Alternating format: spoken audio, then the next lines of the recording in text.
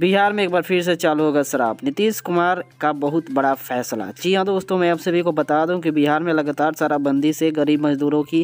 जहरीली शराब पीने से मौत हो रही है जिस कारण से सुप्रीम कोर्ट का बहुत बड़ा फैसला आया नीतीश कुमार और तेजस्वी यादव में भी सब कुछ ठीक नहीं चल रहा है क्योंकि शराबबंदी के कारण बिहार काफ़ी ज़्यादा पीछे चला जा चुका है जी हाँ दोस्तों मैं आप सभी को बता दूँ कि हर महीने में जहरीली शराब पीने से गरीब मजदूरों की मौत हो रही है जिस कारण से सुप्रीम कोर्ट में एक याचिका दायर की गई थी जिस याचिका याचिका में नीतीश कुमार और तेजस्वी यादव को सुप्रीम कोर्ट ने फटकार लगाया है सुप्रीम कोर्ट का कहना है कि देखिए जब बिहार में दारू बंद है तो बिहार में इतनी शराब कहाँ से आ रही है क्यों जहरीली शराब बन रही है जिस कारण से गरीब मजबूर जो है वो मर रहे हैं जिस कारण से बिहार सरकार को यह निर्णय लेना चाहिए कि बिहार में जल्द से जल्द शराब चालू कर देना चाहिए जिससे गरीब मजदूरों की मौत ना हो और हर कोई आराम से पी सके जिससे लोगों में भी डर का माहौल ना बने क्या आपको लगता है कि बिहार में एक बार फिर से शराब चालू होनी चाहिए तो कमेंट करके अपनी राय जरूर दीजिएगा और चैनल पर नहीं होता तो सब्सक्राइब जरूर कीजिएगा